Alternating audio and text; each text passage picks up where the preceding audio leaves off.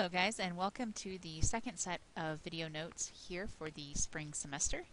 Um, today we're going to be talking about a couple of different things actually. Kinetic energy, the work kinetic energy theorem, and then gravitational and elastic potential energy. A couple of these terms might already be familiar to you guys. Probably you talked about this a little bit in 8th grade.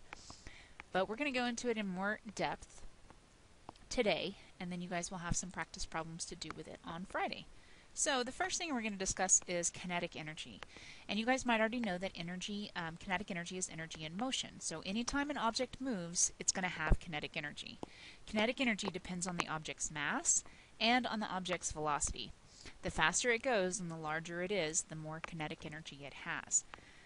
Now kinetic energy is a form of energy that we measure in joules. All energy is measured in joules.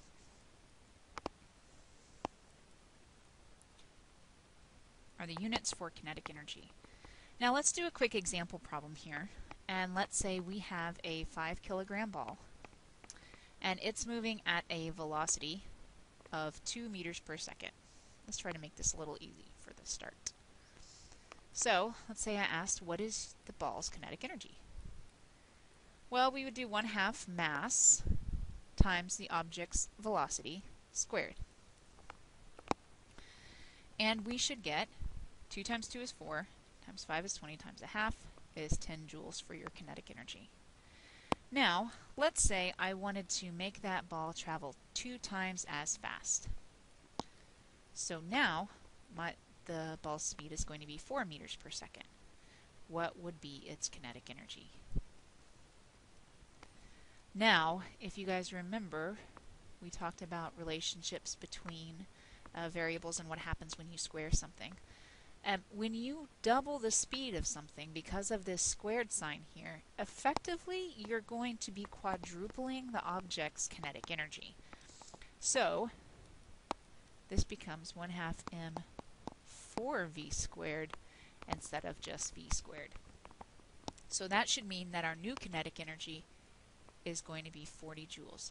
You can do the math to figure it out, or you can just understand the relationship between the velocity and that squared sign. Now, um, if I wanted to triple the velocity, let's say I wanted to make it be going 6 meters per second, same situation, now the kinetic energy would be 9 times as much. So the velocity here, changing your velocity is going to result in a larger change in your kinetic energy than if you were just to simply change the mass. Alright. And we talked about work the other day. Work and kinetic energy are related by something called the work kinetic energy theorem. Now remember me telling you guys how uh, work is a form of energy transfer. So if I'm going to do work on an object, I'm going to either increase or maybe sometimes decrease that object's energy. A lot of the time it's going to change the object's kinetic energy. Remember that work is equal to force times distance, so if I apply a force to something, it's going to accelerate. That acceleration is going to cause a change in velocity, which is going to cause a change in kinetic energy. So, to write this in equation form, we're going to say that the work done on something is equal to that object's change in kinetic energy. Here we have work net, or total work, equals change in kinetic. Remember that whenever we have this change sign, we're going to take the final kinetic energy and subtract it from the object's initial kinetic energy.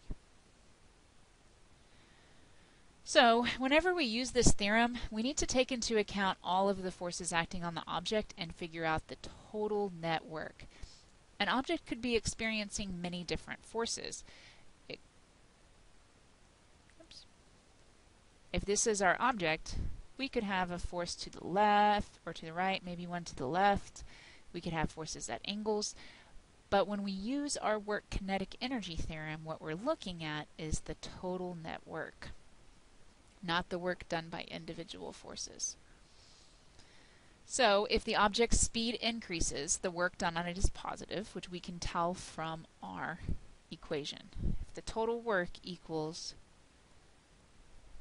mvf minus 1 half mvi squared, if your VF is larger, that means it's speeding up, which means that your work is positive.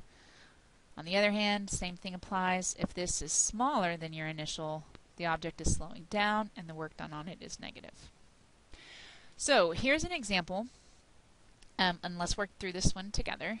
You guys are always welcome to pause the video and try to do these on your own before you see my solution. Um, I really think that's a, a, good way to try to learn this stuff, um, is trial and error. So Imani is wearing frictionless inline skates on a surface, and she's pushed by a friend with a constant force of 45 newtons. How far must she be pushed, starting from rest, so that her final kinetic energy is 352 joules? So, let's take a look at what we know. We know our force in this problem is 45 newtons. We need to figure out our distance we know that we want our final kinetic energy to be 352 joules. Now you guys might be like, I don't really know what her mass is, I don't know how fast she's going. None of that's really important because they've already told you the final kinetic energy. So, remember that work is equal to change in kinetic. So that means work is force times distance, and we've got a final kinetic energy minus an initial kinetic energy. Now, Mani's starting from rest, so that means that her initial kinetic energy is just going to be zero.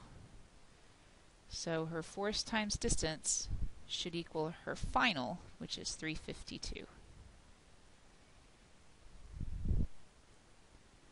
We know our force is 45, so from there it's pretty easy because all we have to do is divide 352 by 45.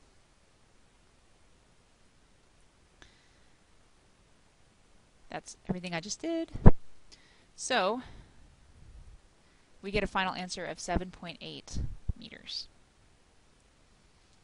Okay, this one I do want you guys to try on your own. Um, I'm going to give you, I'll go, you can pause it now and uh, try to give it a shot. But this is about a textbook sliding across a table and it's going to come to rest after traveling 1.2 meters. And it gives us a coefficient of kinetic friction of 0.34. So um, in this case, I gave you guys a hint. The force of friction is the net force on the object because the object is sliding to a rest. So we have a mass of 0.75, a coefficient of 0.34, and a distance of 1.2 meters. And we know we're going to use our work kinetic energy theorem to figure out our problem. So work is force times distance. Kinetic energy, remember, 1 half mv squared F minus 1 half mv squared I. Now, the book is coming to a rest, so what does that mean for our kinetic energy final? That means our kinetic energy final is 0. So what we have is force times distance equals our initial kinetic energy. You can leave that negative in there if you would like. So if this is our book, our force of friction is going this way. We have normal and gravity, but they cancel out. So our coefficient here is equal to the force of friction divided by the normal. And I told you in my hint that the force of friction is going to be your net force here. So we have 0.34. Our normal force is going to be 7.5 times 10, or 0.75 times 10.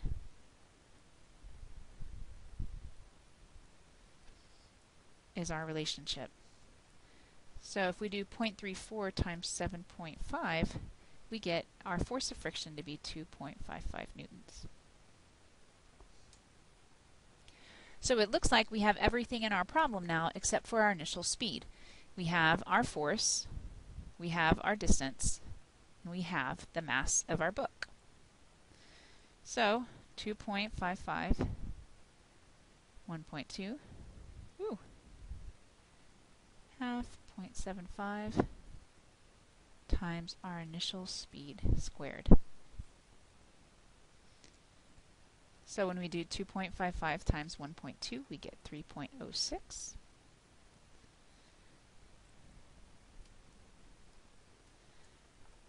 This is 0.375, and this is v squared. Now don't forget, at the end of all this, to take the square root of your velocity. You should end up with a speed of 2.85 meters per second.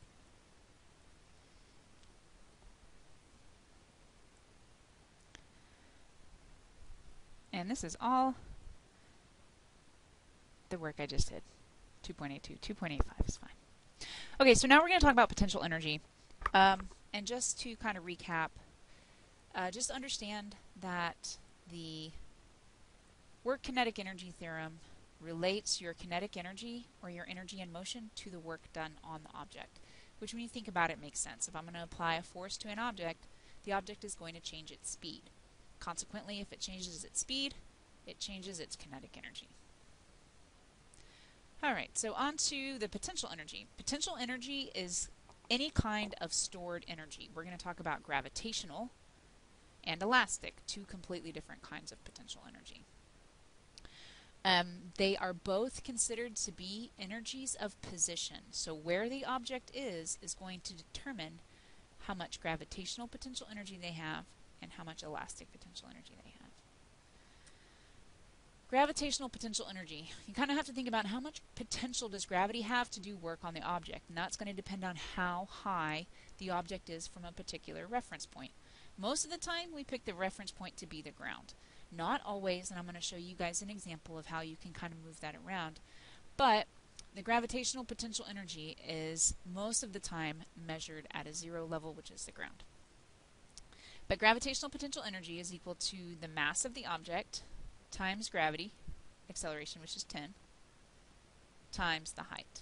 How high is the object up off the ground? Heavier you are, the taller you are, or how high, higher up off the ground you are, the more gravitational potential energy you will have. The more potential gravity has to do work on you. So let's look at an example problem, kind of sketch something out real fast, um, just to give you guys an idea. So, uh, let's say we're going to slide down a hill. And let's say this hill has a height of 12 meters. And let's say this down here has a height of 0 meters at the bottom. This is us. What, and let's say we have a mass of 50. What is our gravitational, sorry about that, potential energy at this point? Let's call this point A, and let's call this point B. What is our gravitational potential energy with respect to point B? Well, considering that this is point B, we're 12 meters above that. So, our gravitational potential energy then would be 50 times gravity times 12. What would be our gravitational potential energy with respect to ooh, point A? Well, we're sitting on point A here, so our height above here is 0. So our gravitational potential energy with respect to point A is 0. Let's say we pick a new point, and let's say this point is right here exactly in the middle. And we'll call this point C. And we'll say the height from here to C is 6 meters. So now, what is our gravitational potential energy with respect to point C? Well now, we're just concerned with how high up off the ground we are from point C which in this case appears to be 6 meters. So our gravitational potential energy would be 50 times 10 times 6. Gravitational potential energy is pretty easy and straightforward. Um, so let's move on to our elastic potential. Elastic potential energy is the potential energy in a stretched or compressed object.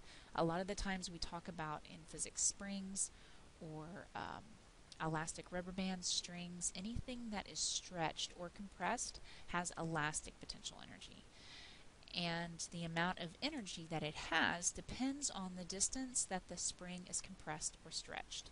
Uh, bungee cords are a really good example of this. If you stretch that bungee cord out really, really far, it has a lot of potential energy stored in those pieces of elastic. When you release it, it's going to want to fly back together super, super fast. that's the release of all of that energy. So elastic potential energy is defined using this equation elastic potential equals 1 half times k times x squared. The elastic potential, um, this k right here, sorry, that's something we call the spring constant. And this x represents the amount that the spring is compressed or stretched. So let's talk a little bit more about the spring constant. The more stiff the spring is, the higher the spring constant will be. Now every spring has a spring constant or a value assigned to it. It's just a descriptor that we can use to um, describe the stiffness of the spring itself. And it's measured in newtons divided by meters. So let's do this example problem. Um, a man is attached to a bungee cord with a relaxed unstretched length of 15. The spring constant is 71.8 jumps off a bridge, and when he finally stops, the cord has a stretched length of 44 meters. What is the elastic potential energy of the bungee cord? So, here's our bridge. Here's our dude. And our spring, or I'm sorry, our bungee cord here, unstretched, is 15 meters. Now, eh, when he bungee jumps, the x distance, or it, it totally stretches to 44 meters. The x for our spring is going to be the difference between 44 and 15. This is going to be 29 meters. I'm sorry. Yes, 29 meters. This is the distance that the spring is stretched. You can't use 15 because that's um, the length of the bungee cord at equilibrium. And you can't use 44 because that's not really how far we're stretching the bungee cord. We're actually pulling it an extra 29 meters. So, our spring constant from the previous slide was 71. 71.5 times 29 squared. And that'll tell us how much elastic potential energy is stored in our spring. And you should get a pretty large number, about 30,000.